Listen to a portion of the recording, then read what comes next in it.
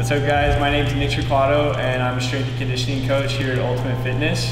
And these videos are gonna be designed to help teach you guys how to open up and strengthen your T-spine and your hips because these are two different areas that get really tight from sitting all the time and they're not designed to be tight. So the first part of this series is gonna be designed to help foam roll and open up the areas.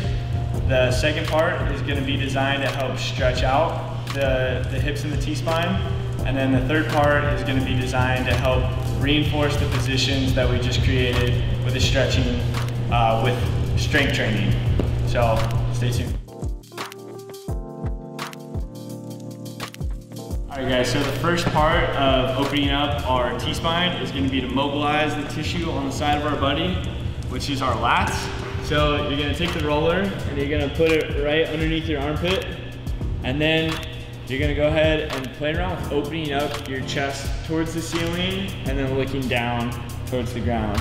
And you're looking for points of tension.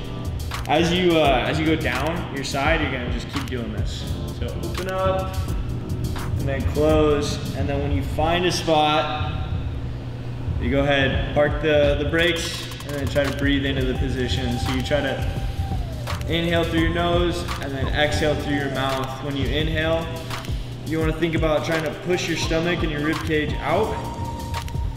Let your rib cage and your stomach expand.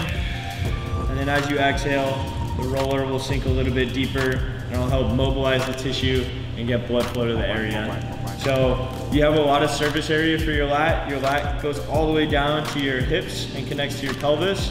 So you can literally go right down your side. As you start going down your side, I recommend trying to open up that chest so then you can get the muscles to the side of your spine like your QL, which usually get pretty tight. So spend about two minutes per side and have fun with it. Guys, now that we've uh, mobilized the tissue in our lats and we're trying to open up our T-spine, we're gonna go ahead and do a stretch for the T-spine. So we're gonna take our leg, cross it over, bottom hand grabs that top knee, then you're gonna take your other hand, grab the back of your head. So uh, this knee acts as like an anchor. I keep it just about on the ground, if not really close to it. And then I go ahead, straighten out my other leg. And I start breathing as I open up my opposite shoulder towards the ground. I'm gonna feel a big stretch across my, my chest, um, in my side body, in this lat, in this T-spine. And I'm opening up now.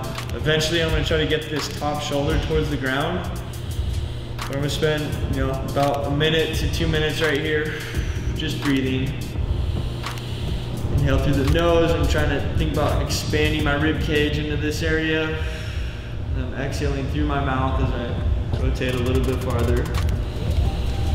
All right guys, so now that we've uh, mobilized the tissue in our lats, we've opened up our mid-spine through that side lying T-spine opener. Now we're gonna reinforce the position that we just created, that new range of motion, with a either an arm bar or a thoracic bridge.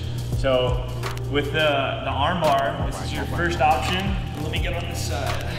So I'm gonna go ahead, and lie on my back. I'm gonna grab a kettlebell or a small weight to start with. I press it overhead, put my same side knee up, take my other arm over, and I'm gonna kick over bring my knee down. I start in this position with my knee bent at 90 degrees. This top arm I just use as a pillow.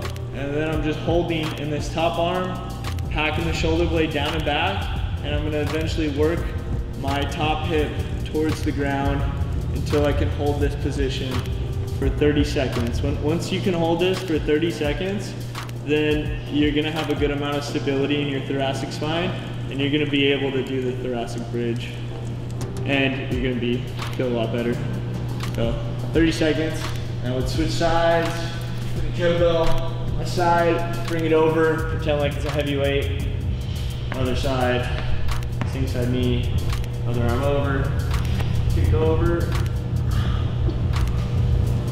And then again, start with that knee bent, 90 degrees, kick over all the way, that shoulder down and back, and I'm looking up towards that arm.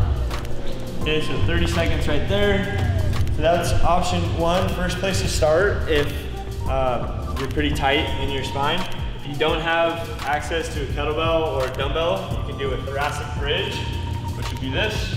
You start on your butt, feet about hip width apart, take one hand behind you, bridge up, and then you're gonna push your weight into that hand, bridge your hips up towards the sky. You got a tight stomach, I'm trying to pull my shoulder down and back. So we're doing the same thing here as with the, the arm bar. Just this is a little bit more of a intense position. So third, start with the arm bar, then go to this. And again, you're gonna try to hold this for 30 seconds.